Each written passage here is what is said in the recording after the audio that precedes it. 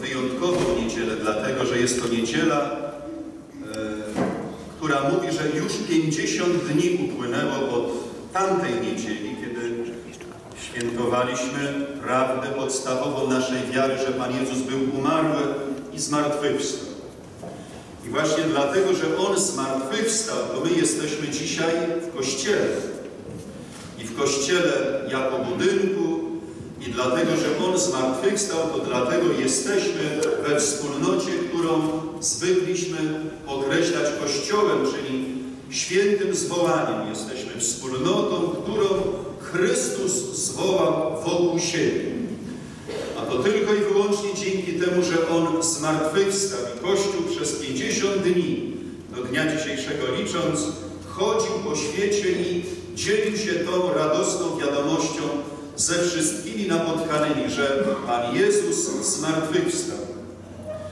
I w tę wielką niedzielę, która jednocześnie jest niedzielą zesłania Ducha Świętego, nie tak dawno zatrzymywaliśmy się przy ołtarzu, żeby z zachwytem spoglądać razem z apostołami w niebo, patrzeć, jak Pan Jezus powraca do Ojca, którego, który Go posłał do nas. A dzisiaj odbieramy to wszystko, co Chrystus nam przyobiecał, a On zanim powrócił do Ojca, to obiecał, że pośle nam pocieszyciela, który nam wszystko przypomni, co On był wcześniej nam powiedział. Czyli, że przypomni nam naukę Jezusa Chrystusa, Ewangelię, czyli dobrą nowinę o zbawieniu człowieka. I w te wielkie uroczystości, uroczystość zesłania Ducha Świętego, obchodzimy dzisiaj wielką naszą parafialną, rodzinną uroczystość. Dziękujemy Bogu za dzieci, które zostały zrodzone z rodziców będących w tej świątyni. To kolejne pokolenie, które weszło na świat z miłości Boga i z miłości rodziców. Wiemy dobrze z własnego doświadczenia, że przed tymi dziećmi droga daleka. Daleka dlatego, że celem jest osiągnięcie jedności, czyli komunii z Bogiem Trójcy Świętej i Jedynej. To cel, który absolutnie przerasta ludzkie możliwości. W liście świętego Pawła Apostola do Rzymian słyszymy takie słowa, że nasze, nasze ciało jest wrogo ustosunkowane do Boga, że do czegokolwiek innego dąży duch ludzki, a do czegokolwiek innego dąży ludzkie ciało. I na tym właśnie polega trudność owej drogi, która jest przed nami, ale która również jest przed tymi dziećmi. Dlatego słyszymy głos Pana Jezusa, który wychodzi naprzeciw nam, nie przeciwko, ale naprzeciw naszym potrzebom. I po to, aby te dzieci nie ustały w drodze, żeby się nie zatrzymały w połowie drogi do nieba, żeby nie zatrzymały się po roku w drodze do nieba, żeby nie zatrzymały się po tygodniu w drodze do Jezusa Chrystusa. On sam daje im, tak jak przed laty każdemu z nas, już nie świat, który nas otacza, ale daje nam samego siebie. Po co? Abyśmy nie ustali w drodze. Żebyśmy mieli siłę Jezusa Chrystusa ku temu potrzebną, aby każdego dnia być człowiekiem, który żyje na poziomie boskich oczekiwań. To wielkie zadanie, to trudna droga, dlatego tym bardziej z podziwem spoglądam na te dzieci i dziękuję Bogu za to, że mają rodziców, że mają dziadków, że mają rodzeństwo, które razem z nimi podejmują trud i przyjemność naśladowania Jezusa Chrystusa. Ofiarę tej mszy świętej złożymy Panu Bogu właśnie w intencji tychże dzieci. W intencji Jakuba Barańskiego, Mani Baszkiewicz, Ani Witkowskiej, Natalii Chodkowskiej, Piotra Gardeckiego, Jana Marczuka, Marty Przybylskiej, Gabriele Rzodkiewicz, Karola Rzodkiewicza i Janka Targońskiego oraz ich rodziców. Proszę Boga o to, abyście zawsze byli świątynią Ducha Świętego, żebyście zawsze byli takimi ludźmi, którzy zawsze podobają się Bogu, których Bóg ma upodobanie. I proszę Boga o to, abyście zawsze tak myśleli, tak mówili i tak żyli, żeby Bóg mógł do was wypowiedzieć dokładnie te same słowa, które wypowiada do swojego jednorodzonego Syna. Ty jesteś moim dzieckiem, którym mam upodobanie. Przystępujemy do Boga, który jest święty, dlatego przeprośmy Go najpierw za wszystkie nasze grzechy.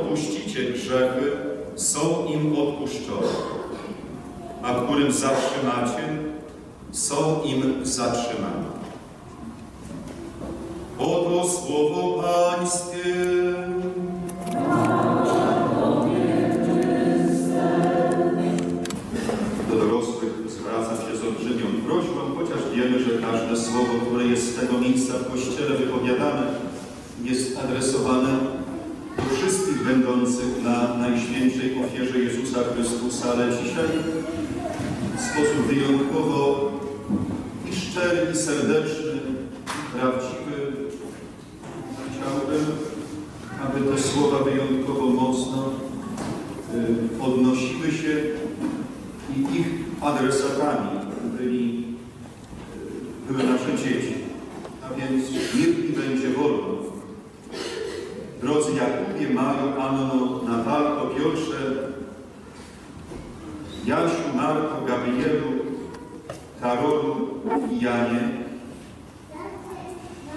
Bardzo mi na tym zależy, ale bardzo mi na tym zależy, żebyście nigdy nie zapomnieli, ale to nigdy w życiu, że po raz pierwszy otworzyliście całe swoje życie. Symbolicznie mówimy, że otworzyliście swoje serce, chociaż wiemy, że człowiek usta otwiera przed Jezusem Chrystusem obecnym pośród nas i oddającym się nam do dyspozycji, dokładnie do spożycia pod postacią chleba. Ale otwierając usta i serce, otwieracie na oścież i to tak szeroko, jak się tylko da. Nie uchylamy drzwi naszego życia, żeby zobaczyć, kto jest po tej drugiej stronie, który dopomina się wejścia do nas. Ale kiedy wiemy, że 20 maja przyszedł ten dzień roku 2018, godzina 10.30 na Gwiaździstej 17 w Warszawie, na Dolnym Marymoncie, przychodzi Pan Jezus, który puka do nas, do Was dokładnie, czekając, no właśnie, aż otworzymy na oścież samych siebie w jednym celu. Nie po to, żeby- zobaczyć, kto przyszedł, kto tam, bo wiemy kto, ale po to, żeby absolutnie zaprosić go do tego, aby wszedł, aby rozgościł się w naszym życiu, żeby rozgościł się w nas, nawet głębiej jeszcze, żeby na stałe, na trwałe zadomowił się do nas. Kiedy będziecie już samodzielnie czytać kolejne strony Pisma Świętego, Ewangelii szczególnie, to Pan Jezus wypowiada tam takie słowa pierwotnie adresowane do apostołów w wierniku, oto ja jestem z wami po wszystkie dni, aż do skończenia świata. Patrzcie, dzisiejsza uroczystość rozpoczęła się 20 maja o godzinie 10.30 ale ona nie będzie miała nigdy końca. Nigdy nie będzie miała końca. Tak zwana pierwsza komunia święta, może bardziej komunia święta, moja Jezusa Chrystusa musi trwać po wszystkie dni, aż do skończenia świata. Co to znaczy? Że ja każdego dnia na oścież, każdego ranka, jak tylko i wyłącznie Pan Bóg pozwoli mi otworzyć oczy o spokojnej, szczęśliwej nocy, aby z chwilą otwarcia oczy, oczu natychmiast na oścież otworzyć znowu po raz kolejny drzwi dla Jezusa Chrystusa. Dlaczego? Dlatego, że On jeszcze nam wypowiada kolejne zdanie. Jakubie, Majo, Aniu, Natalko, Piotrze, Janie, Marto, Gabrielo, Karolu i Janie. Bo, beze mnie nic mądrego ani dobrego uczynić nie możecie. Bardzo ważną rzecz nam Pan Jezus powiedział. To jest kolejna rzecz, na której mi bardzo zależy. Abyśmy zapamiętali i to po wszystkie dni aż do skończenia świata. Że nie możemy nie otwierać na oścież drzwi naszego życia przed Jezusem Chrystusem. Dlaczego? Bo nic bez Niego, ani mądrego, ani dobrego uczynić nie możemy. Z lekcji religii, z katechizacji dobrze już wiecie oraz wiecie to dzięki swoim rodzicom i dziadkom, jeśli oni jakoś tam interesują się Waszą przyjaźnią, wzrostem w Jezusie Chrystusie, że to jest również kolejna prawda, którą wiemy od Pana Jezusa, że właśnie Jezus Chrystus jest w nas sprawcą i chcenia i działania według woli Boga. A żeby człowiek mógł, to takie trochę nie do końca szczęśliwe stwierdzenie, ale ono jest przez wszystkich właściwie, właściwie rozumiane, żeby człowiek mógł dostać się do nieba, jest tylko i wyłącznie jedna rzecz do zrobienia. Trzeba na co dzień, nie od święta, nie tylko w niedzielę, ale na co dzień, w domu i w szkole, na boisku i, na, boisku i na ulicy, pełnić wolę Ojca, który jest w niebie. Pełnić wolę Ojca, czyli wolę Boga, który jest w niebie. To dobrze wiemy o tym, dlatego że po bardzo sympatycznym spotkaniu w ubiegłą sobotę, czyli przed tamtą niedzielą, ja jestem pewny, że dobrze wiecie, że w momencie, kiedy człowiek, właśnie, zrobi po swojemu, a nie po Bożemu, to przychodzi ten stan, który nazywa się grzechem, a grzech, przez grzech człowiek traci wszystko. Nawet z tych rzeczy, które wydaje się, że ma na sobie, to tylko i wyłącznie jest jakaś tam iluzja, dlatego że przez grzech człowiek traci wszystko. Zobaczcie, Bóg tak umiłował nas, Bóg tak umiłował nas, że zabezpieczył to, byśmy nie utracili wszystkiego, ale aby wszystko mogło być nasze. A nade wszystko, żebyśmy pamiętali, że jeśli człowiek ma Boga, to absolutnie ma wszystko. Dlatego, że świat cały człowiek został przez kogo stworzony? Przez Boga. Tak jest. Bardzo mi się to podoba, bo wystarczy rzucić pytanie, a oni jak, mój Boże, w tych różnego rodzaju teleturniejach traf, czerwony przycisk, wiedzą o co chodzi. Tak jest. Świat jest stworzony przez Boga, a Bóg jest duchem jakim? Byle jakim czy doskonałym? Doskonałym, który nie może się mylić, ale nikogo w błąd wprowadzić. Ja dzisiaj nie mogę wyjść z zachwytu, to nie widać, ale w środku aż wszystko we mnie bulgocze. Z tego powodu, że wszyscy wyglądacie naprawdę pięknie. Naprawdę pięknie. Jestem Wam bardzo wdzięczny za to, że również i dostojność dzisiejszej uroczystości została wyrażona również w sposób absolutnie zewnętrzny. Ja wczoraj sobie tak gdzieś przez i przez zasłonki spoglądałem na Waszych rodziców i na Was, na Was, którzy świetnie żeście wczoraj się bawili, po spowiedzi i po przygotowaniu, po próbie do dzisiejszej uroczystości, ale spoglądałem na waszych rodziców, którzy polerowali te świątynie, którzy myli okna, sprzątali podłogę, wycierali kurze, a dobrze wiemy, że w kościele zawsze kurzu jest sporo, a więc było roboty co niewiara. Ale napawało mnie to olbrzymią, ale to olbrzymią radością. Dlaczego? Bo kiedy człowiek sprząta w sposób tak bardzo dokładny, żeby nawet nie było jednego pyłka kurzu, właśnie wówczas, kiedy spodziewa się nadzwyczajnego gościa. A kiedy człowiek przygotowuje również samego siebie, znaczy właśnie wyjątkowo dokładnie, myje się, czesze, kobiety biegną gdzie? Do, do, do dentysty czy do fryzjera? Do fryzjera, tak jest, biegną do fryzjera. Dlaczego? Bo wyjątkowy gość.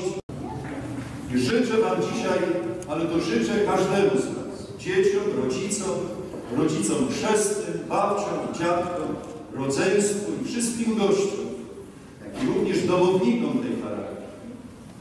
A żeby tak Wam zostało po wszystkie dni aż do skończenia świata.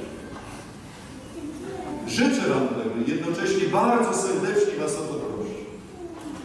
Żebyśmy nigdy, ale naprawdę nigdy nie przyszli byle jak ubrani na mszę świętą. Ale to nigdy. I był taki moment w życiu sługi Bożego, to wielki człowiek, mówią o nim, że jest prymasem, czyli biskupem, kardynałem tysiąclecia chrześcijaństwa Polski. Mowa o tym człowieku, który jest po waszej lewej stronie, w tej takim czerwonym birecie, czerwonej piusce, czerwonym berecie na głowie. To jest ksiądz Stefan kardynał Wyszyński, prymas Polski. On już jest w niebie. Dzisiaj spogląda na nas absolutnie z olbrzymim poczuciem dumy, ale kiedy on był nawet mniejszy niż wy, był mniejszy niż wy, to jego mama bardzo, ale to bardzo mocno się rozchorowała. Kiedy leżała w łóżku, to chwyciła małego Stefka za rękę, spojrzała mu prosto w oczy i mówi do niego tak, Stefan, ubieraj się. Stefan spojrzał po sobie, ale był kompletnie ubrany i wiedział, o co mamie chodzi. A mama jeszcze bardziej intensywnie do swojego ukochanego synka mówi Stefan, ubieraj się. Bardzo Cię proszę, ubieraj się. Dopiero po latach, po długich latach, wtedy, kiedy już był kapłanem i biskupem na Miodowej w Warszawie, w domu biskupów warszawskich, kiedy modlił się w swojej kaplicy, modląc się na brewiarzu, otworzył księgę proroka Izajasza. Jest taka księga w Starym Testamencie. Tam Pan Bóg wytłumaczył mu, o co jego mamie chodziło. Że był to prorok, jego mama była prorokiem w stosunku do niego. Bo o co go prosiła? Zrozumiał to właśnie wówczas, kiedy nagle przeczytał słowa proroka Izajasza. Ogromnie wesele się w Bogu. Duch mój raduje się w Bogu, Zbawicielu moim. Uwaga, gdyż przyodział mnie, czyli ubrał mnie w szaty zbawienia i okrył mnie płaszczem sprawiedliwości. Raz powtórzę to zdanie, bo ono jest naprawdę niezmiernie ważne i chciałbym, to jest kolejna prośba, żeby Wam to zapadło, no właśnie, do końca Waszych dni, żebyście zawsze przychodzili dobrze ubrani do Kościoła. Znaczy, abyście pozwolili Bogu każdego dnia, aby ubrał Was w szatę zbawienia i żeby okrywał Was płaszczem sprawiedliwości. Żebyście również idąc do szkoły, na lekcje języka polskiego, angielskiego, matematyki, biologii, fizyki, również szli jako ludzie bardzo dobrze ubrani. To znaczy, żebyście zawsze Bogu pozwolili ubrać się w szatę zbawienia i okryć się płaszczem sprawiedliwości. Kiedy idziecie grać na boisko, piłkę czy jakąkolwiek inne, jakieś tam kluby, nie wiem co dziewczynki teraz grają, pewnie grają oczywiście na tablecie, co wcale nie jest najlepszą rzeczą, ale nawet i to czyniąc. abyście zawsze byli wytwornie ubrani, znaczy, abyście zawsze byli ubrani przez Boga szatę zbawienia i płaszcz sprawiedliwości. A dzięki temu, dniem i nocą, całe wasze życie, wasz dom, wasza rodzina, wszędzie tam, gdzie się znajdziecie, to wszystko będzie na oścież otwarte dla Jezusa Chrystusa, bez którego nic dobrego ani nic mądrego uczynić nie możemy. Dlatego bardzo serdecznie proszę, aby Jakub Barański, Maja Waśkiewicz, Ania Witkowska, Natalia Chodkowska, Gardecki Piotr, Marczuk Jan, Przybylska Marta, Rzodkiewicz Gabriela, Rzodkiewicz Karol i Jan Dargojski powstali teraz z miejsca. O. Zadam Wam bardzo, to bardzo ważne pytanie. Zanim, zanim Kościół, zanim Kościół cokolwiek człowiekowi da z sakramentów świętych, najpierw zaczyna zadawać mu pytanie, właśnie o to, czy dla Jezusa Chrystusa wyrzeka się grzechu, szatana, wszelkich spraw Jego? I czy przyjmuje, czy jest w nim? To coś, co mieści się w jednym słowie, wiara, czyli dar Boga, któryśmy otrzymali przez Jezusa Chrystusa w Duchu Świętym. Był taki moment w waszym życiu przed radę, tak jak przed Kościołem wspomniałem, że rodzice was przynieśli razem z rodzicami chrzestnymi do świątyni był też taki moment, kiedy gromnica, która teraz macie w ręku, została zapalona przez ojca, ojca chrzestnego od paschału, który symbolizuje uobecnia Jezusa Chrystusa zmartwychwstałego. Dzisiaj dokładnie to samo światło znajduje się w waszych dłoniach, znajduje się przed waszymi naszymi oczyma. Przypomina nam tę bardzo ważną prawdę, że Jezus Chrystus, który jest dla nas pod postacią chleba i wina, nam przy świętym, jest Bogiem prawdziwym, światłością ze światłości, Bogiem prawdziwym z Boga prawdziwego, zrodzonym, a nie stworzonym. Teraz uwaga, trzymając mocno świecę w ręku, gromnicę, świecę naszego życia, bardzo proszę rodziców i wszystkich gości o powstanie. To jest bardzo, bardzo ważny moment. Pytam każdego z Was, słuchajcie uważnie, a my jesteśmy tego świadkami. Można szybko na chwileczkę drzwi, dlatego że powiew wiatru robi nam niespodziankę. Na chwilę, później otworzę. Wszyscy mnie słuchają? Halo, jak słyszycie? Słyszę. Dobrze. Maja mnie słyszy? Słyszy mnie Maja? Słyszy mnie. Dobrze, to uwaga. Pytam każdego z Was, czy wyrzekasz się grzechu, aby żyć w wolności dziecka Bożego? Czy wyrzekasz się wszystkiego, co zła, aby Cię grzech nie opanował? Czy wyrzekasz się szatana, który jest głównym sprawcą grzechu? Teraz uwaga, będę Was pytał o to, w co wierzycie. Czy wierzysz w Boga Ojca Wszechmogącego, Stworzyciela nieba i ziemi?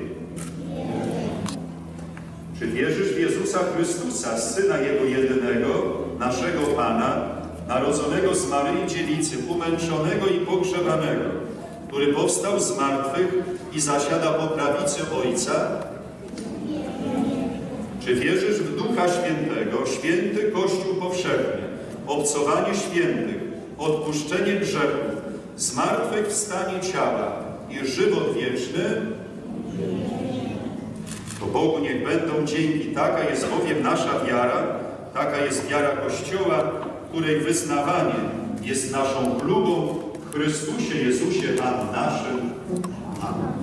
Ogarnij Twego Ducha nasze myśli i pragnienia serca. Rozpal miłość i przyjmij dary, które niesiemy. Świeca, znak Chrystusa zmartwychwstałego. rozpala zapaloną świecę, prosimy Cię, Panie Jezu, pomóż nam być Twoim światłem dla świata. Chleb i wino, owoc ziemi i prac rąk ludzkich za chwilę stanie się ciałem Chrystusa, które będziemy przyjmować do swojego serca. Prosimy Cię, Panie Jezu, przyjmij nasze dary i spraw, aby całe nasze życie było darem dla Ciebie i naszych bliźnich.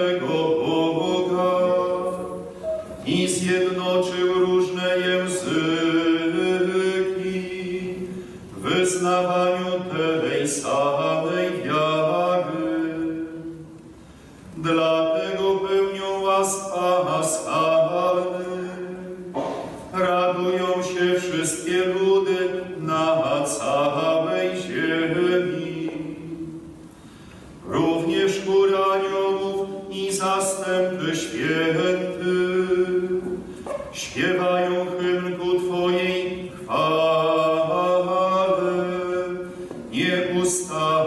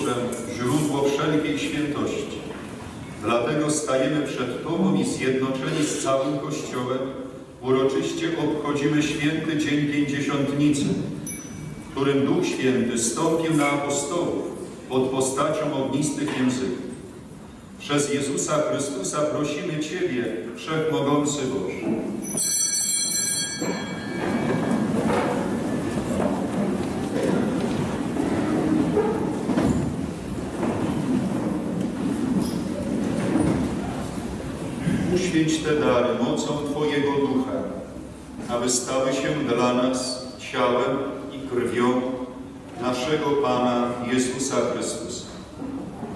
On to, gdy dobrowolnie wydał się na mękę, wziął chleb i dzięki Tobie składając, łamał i rozdawał swoim uczniom, mówiąc Bierzcie i jedzcie z tego wszyscy. To jest bowiem ciało moje, które za was będzie wydane.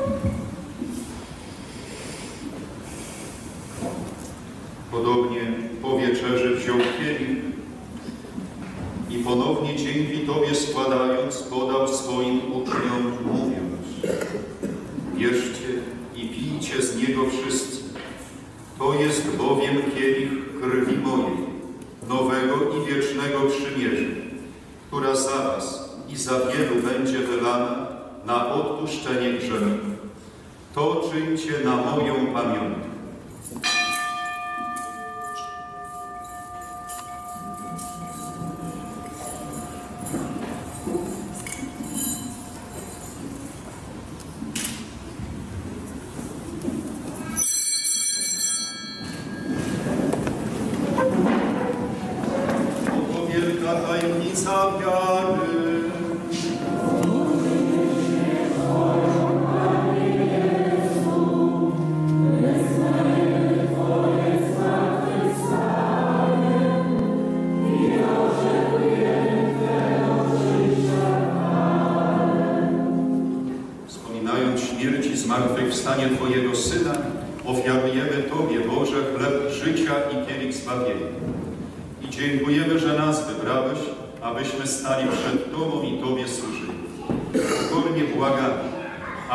Święty zjednoczył nas wszystkich, przyjmujących ciało i krew Chrystusa.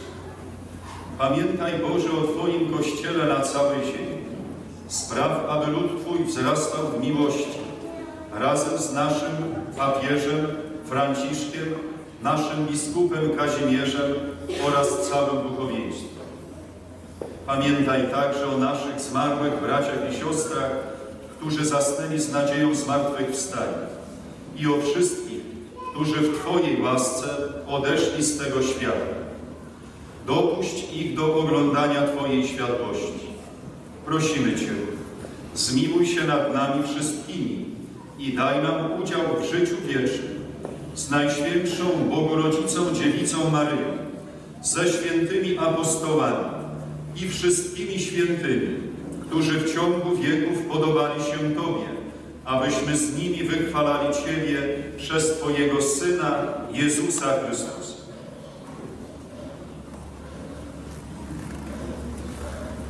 Przez Chrystusa, z Chrystusem i w Chrystusie, Tobie Boże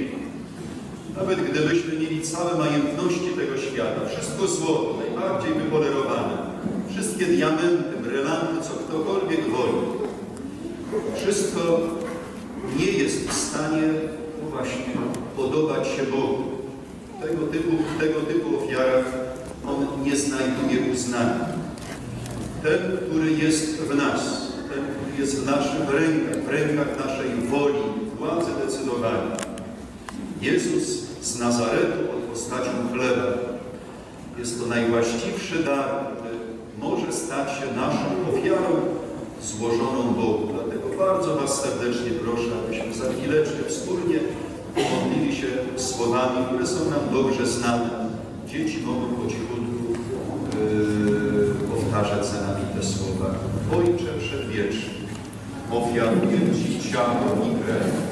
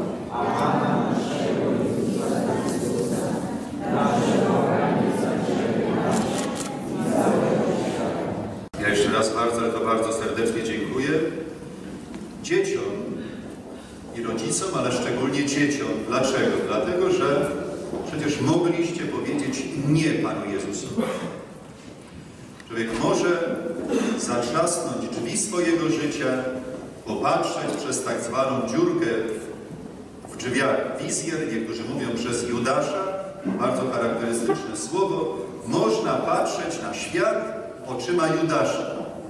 Można. Można popatrzeć na Jezusa Chrystusa oczyma Judasza.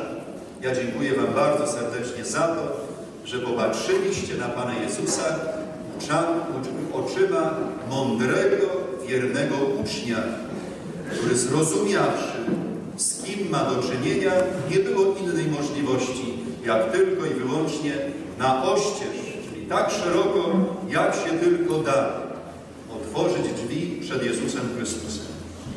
Dziękuję rodzicom, chociaż dobrze wiemy, że zrobiliście to, co do Was po prostu należy. Jest taki moment w życiu, kiedy to dziecko idzie za rodzicami. Tak najczęściej jest w odniesieniu do Boga, że dziecko podąża do Boga za rodzicami. Dobrze wiemy z własnego doświadczenia, że przychodzi taki może nie do końca najszczęśliwszy moment, że to rodzice podążają do Kościoła, czyli do Boga za dziećmi. I proszę Was, niech tak zostanie na wieki wieków. Amen. Pan z Wami. Niech Was błogosławi Bóg Wszechmogący, Ojciec i Syn i Duch Święty. Idźcie w pokoju Chrystusa. Alleluja.